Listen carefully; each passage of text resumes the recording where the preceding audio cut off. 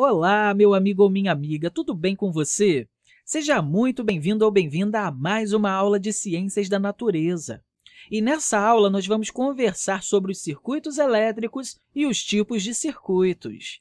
Mas antes disso, é importante a gente saber que o circuito elétrico é uma espécie de caminho fechado que pode ser percorrido por uma corrente elétrica que nada mais é do que cargas elétricas em movimento. A gente pode montar um circuito elétrico com alguns elementos de uma forma muito rápida.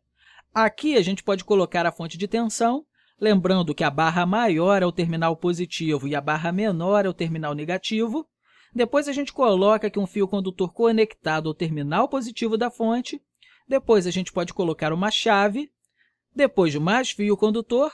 Depois, a gente pode colocar um resistor, depois um indutor e depois, quem sabe, um capacitor. Aí, a gente volta aqui com o fio condutor para o outro terminal da fonte. Bem, esse é um esquema de um circuito elétrico.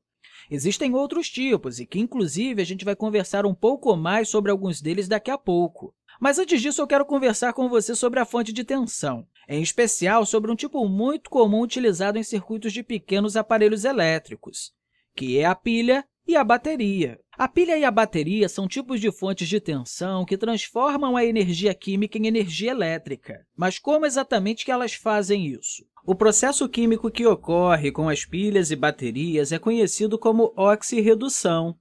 E nesse processo, normalmente temos dois agentes oxidantes, que podem ser, por exemplo, dois tipos de metais. Assim, quando eles forem conectados, um vai fornecer carga elétrica para o outro. Devido a esse processo, nós vamos ter um movimento das cargas elétricas através do circuito elétrico, e, com isso, teremos uma corrente elétrica. Os agentes oxidantes possuem propriedades chamadas potenciais de oxidação. Esses potenciais são medidos em volts, e é através dos potenciais de oxidação dos agentes que estão em cada um dos lados da pilha ou da bateria que estabelecemos o que chamamos de diferença de potencial, ou simplesmente tensão. Ah, um detalhe, a gente costuma abreviar diferença de potencial para DDP, ok? A diferença de potencial é basicamente a diferença entre os potenciais de oxidação dos dois agentes. Assim, se a gente tem um agente oxidante com um potencial igual a 5 volts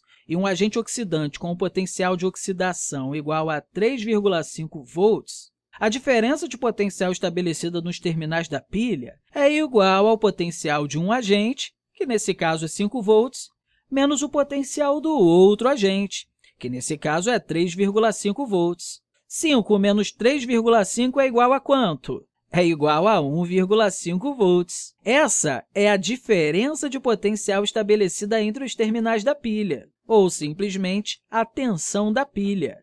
Normalmente, é esse o valor que vem apresentado nas embalagens das pilhas e baterias. Ah, eu só quero fazer uma pequena observação aqui.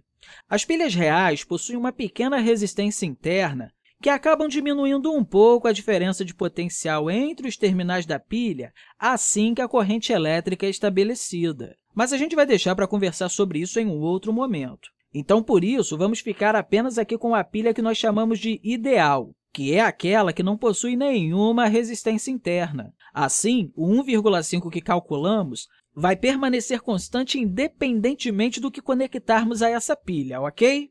Há uma outra coisa muito importante, é que o terminal que tem maior potencial é chamado de positivo, e o terminal que tem menor potencial é chamado de negativo. Beleza? Então, conseguiu entender a ideia do positivo e do negativo agora? Ok. Bem, agora que você já compreendeu legal o que é uma pilha ou uma bateria, a gente pode começar a conversar sobre os tipos de circuitos elétricos. E o primeiro tipo que nós vamos ver aqui está relacionado com o fato do circuito estar sendo percorrido por uma corrente elétrica ou não. E, normalmente, nós conseguimos fazer esse controle através de uma chave. Então, olha esse circuito aqui. Nós colocamos uma fonte, uma chave, um resistor, um indutor e um capacitor. Essa chave pode assumir duas posições diferentes. A primeira é quando ela não está conectando esses dois pontos do circuito. Nesse caso, temos um circuito elétrico aberto. E aí, nesse caso, o circuito não estará sendo percorrido por uma corrente elétrica. Agora, olha esse outro caso aqui. Aqui, a chave está conectando os dois pontos do circuito. E, com isso, uma corrente elétrica vai percorrer todo o circuito. Nesse caso, nós temos um circuito elétrico fechado. Lembre-se, meu amigo ou minha amiga, que o circuito elétrico fechado é quando temos um caminho fechado por onde a corrente elétrica vai circular. E o circuito elétrico aberto é quando algum trecho do circuito está aberto, e aí a corrente elétrica não vai atravessar aquela parte do circuito. A corrente elétrica sempre precisa circular, e se não temos um caminho fechado, ela não vai circular. Além da chave, o fusível também pode manter um circuito elétrico fechado, mas quando ocorre uma sobrecarga, ele se sacrifica, e aí o fio condutor que está dentro do fusível se rompe, e, com isso, o circuito é aberto, impedindo que a corrente elétrica continue percorrendo o circuito e, assim, queime o aparelho elétrico conectado a esse circuito.